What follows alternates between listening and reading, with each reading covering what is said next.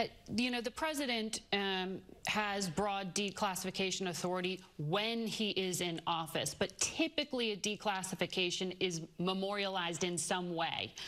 Um, uh, can you seek out the answer to the question of whether there actually is record of whether Donald Trump declassified that? That's his defense here, that anything he had, he had already declassified.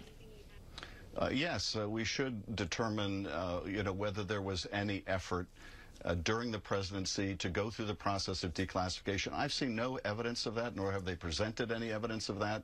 Uh, the idea, first of all, a former president has no declassification authority. Right. And the idea that 18 months after the fact, Donald Trump, Trump could simply announce, well, I'm, you know, uh, retroactively declassifying or whatever I took home had the effect of declassifying them uh, is absurd. Uh, but nonetheless, the statutes the Justice Department are uh, asserting in the search warrant uh, don't even require that they still be classified. If they would be damaging to national security, it's a problem. It's a major problem.